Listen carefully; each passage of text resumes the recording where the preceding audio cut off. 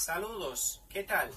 En este video les estaremos mostrando la transformación que haremos a esta bicicleta Aro 20. Empezaremos removiendo toda la pintura, así que acompáñanos en nuestro recorrido. ¿ok?